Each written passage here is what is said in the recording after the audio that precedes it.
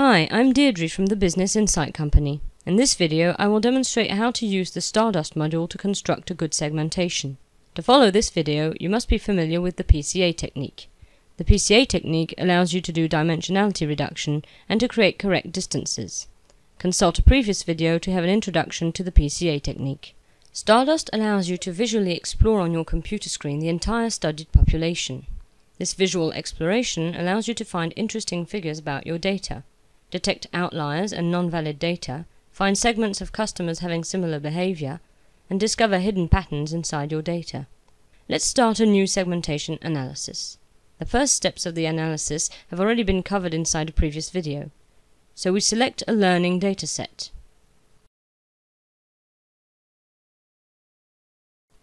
On the learning dataset we have to specify what column is the primary key. Tim guesses the type of some columns as value, but in reality the type of this column is nominal. So let's change it. And we finally run the short preliminary analysis. And it's done. Now we can really start the segmentation analysis. This is Stardust. With the following table here, you can select which variable will be loaded into memory for analysis. The first thing we want to do is to see the whole database in three dimension. The dataset contains 10 numerical variables. We won't use this one. Each individual inside the database is a point in a 1, 2, 3, 4, 5, 6, 7, 8 dimensional space. We will use the PCA technique to reduce the dimensionality to be able to project the point in a 3D space. Let's click OK. The PCA runs directly and we can immediately see the whole population in 3 dimension. Inside the census income database there are around 200,000 individuals.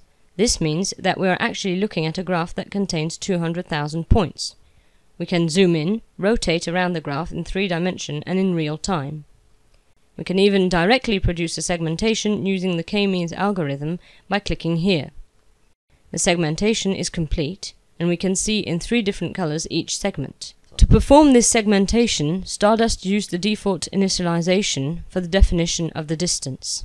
You can change the distance used to produce the segmentation by clicking here.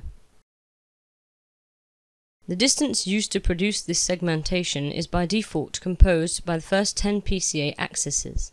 In a previous video, we talked about the usage of the PCA to define a good distance. We found that the distance definition should not include PCA axes where the range value is very small.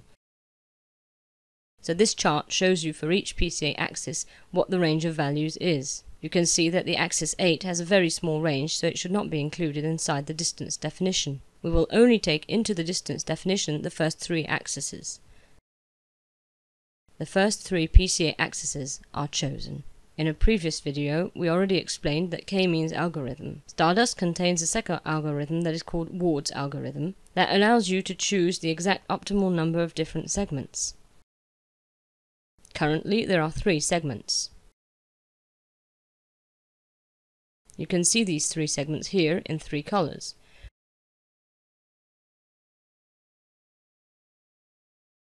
but you can ask for four segments or even five segments. Let's select three segments. The Ward algorithm is instantaneous and allows you to see the result of your decision in real time. Once you have found the segments and decided how many segments you need, you can save the segments in a CSV file and export a segmentation model to use inside the prediction tool. TIM allows you to easily create one predictive model for each segment you can export the distance definition that you just defined. The first step of the segmentation analysis is now complete. We have obtained a segmentation model. The second task involves describing each segment from a business perspective. We will see how to perform this second task in the next video. The second generation data mining software, TIM Stardust module, allows you to easily segment your customer base by using the most advanced, state-of-the-art segmentation methodology. The future of database marketing starts right now with Tim. For more information, please visit our website at www.business-insight.com.